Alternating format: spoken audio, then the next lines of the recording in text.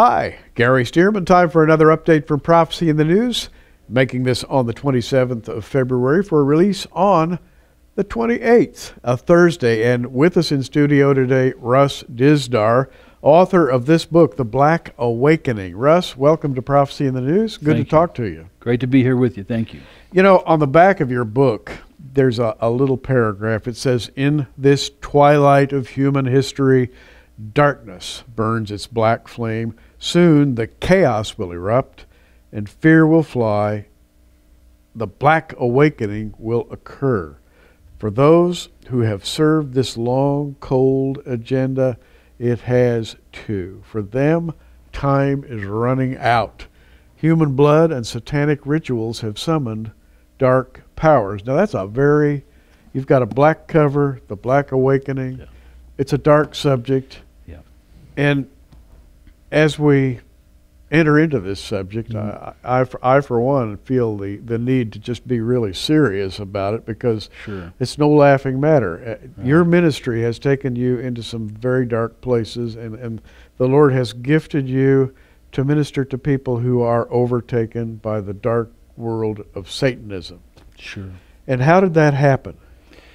Well, in um, I came out of uh, occultism, and I was then a practicing Buddhist for a while before I even heard the gospel clearly. When I got saved, and and realized, wow, those other powers were real, but they weren't from God. Yeah. And when Christ came in and the Spirit of God came in my life, then I launched out to do evangelism and ministry. So we began to run into young students uh, into Satanism, dabbling and things like that. But we found more and more and more. So we formed a team that would target any young people into Satanism, any of the subjects of Satanism, and go after that evangelistically. That, uh, over 30 some years, has taken us into hundreds and hundreds and hundreds of cases, m- just hundreds of demonized cases, massive research deep into the underground, and um, it's, uh, it can be scary. It's really bad, and, but we don't want to close our eyes to it because it affects our neighborhoods and our schools and even the government. Now, how common is this practice today? I, I'm tempted to say Satanism, but it, Right.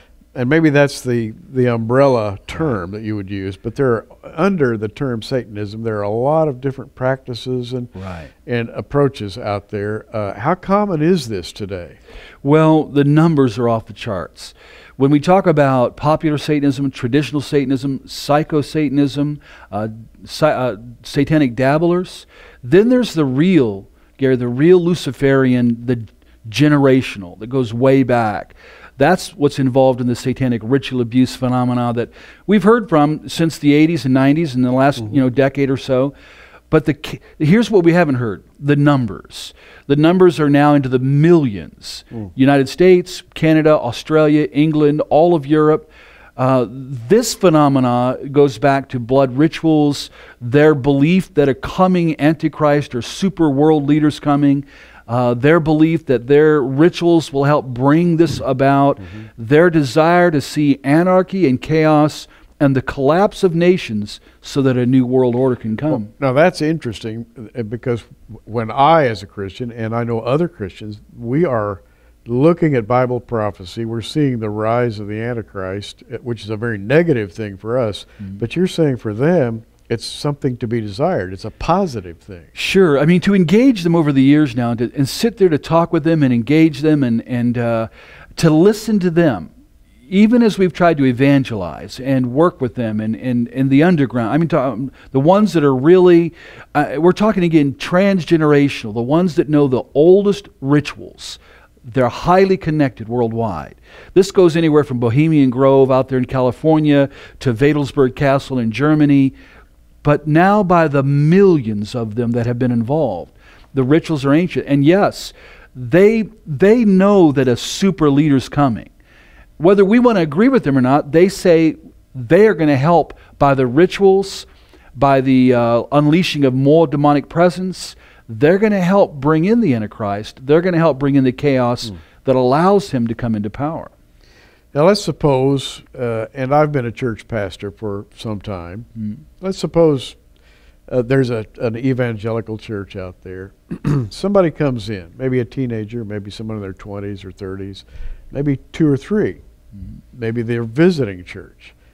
And maybe they're wearing uh, some funny jewelry, lip piercings, some odd uh, tattoos or whatever. Sure. But they're still they're coming to church. Right. They're curious. Right. And as you get to know them, you say, well, there's something really disturbed about this young person. Mm-hmm. Now, I speak from experience here. Mm-hmm. What do you do? How do you prepare yourself to meet people who, Right. let's say, are on the edges of the world you're talking about, but they're trying to get out? How do how do you approach those those young people? Well, I, I begin by the gospel, the idea God so loved the world, so we're called to go to everybody anyway.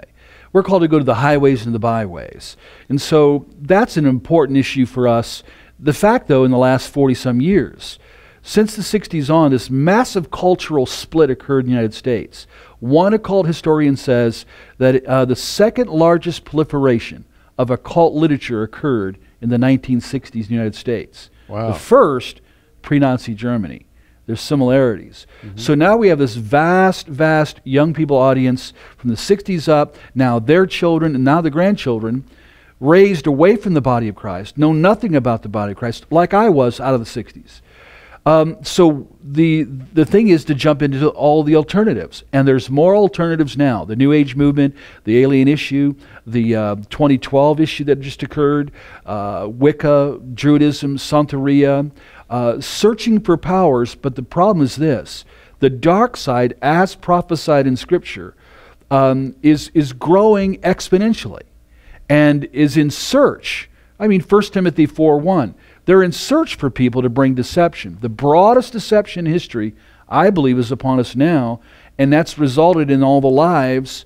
Um, and our preparation, knowing the Lord Jesus, being knowing the authority of God, knowing the armor of God, and, and being involved in ministering to people.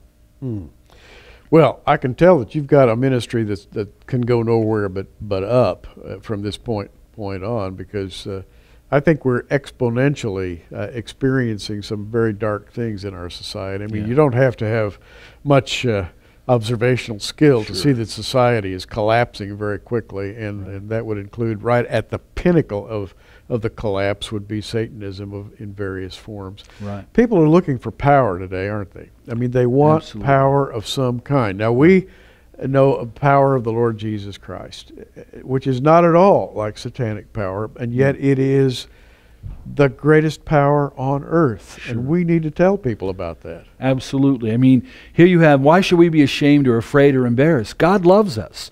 Nobody loves us more. God wants us. Nobody wants us more. And the provision of Christ at the cross is this is the most powerful act in human history. The cross is where Jesus came to destroy Satan's work, deal with sin, deal with death, deal with hell itself, um, to bring liberation to us, to come into our lives so that we can know God and then have a future and also have protection because these days as again prophesied and jesus said you know i'm going to build my church and the gates of hell will not prevail. We're, we're birthed in a sense church-wise and even as a believer into a spiritual battle but it's broader than ever before right now. Now, this book, The Black Awakening, that you've written, is sort of a, I think it's partly biographical. It tells about your work. right It tells about your experience. It also speaks of, uh, of what of the subjects you're talking about Sure. right now, in more depth and detail than you have time for. Sure. Well, even the term black awakening, I explain in the first part of the book, that's not, most people don't know the word, what it means, but it came from the underground, what we call the undergrounders, uh, those deep level Satanists. They refer to that as the day of the great chaos. They believe a great chaos before a new order is going to come, just like the you know the Masons have, just like the old occultists have. So, but they believe they're going to help create it. Um, so they call it a black awakening and the rise of like a master race. They look at themselves as like super soldiers and that they're going to be the enforcers. Um, and our engagement, the numbers are off the charts, and we need to be aware. It's a very interesting subject, a little bit dark, but it, that, let's face it, there are things happening that maybe you need to know about.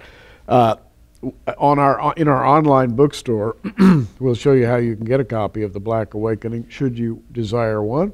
And of course, you're watching us uh, on our internet right now, and so you'll you'll have right before your very eyes uh, the way to get uh, Russ Dizdar's book, The Black Awakening. What are you going to be doing from here on in?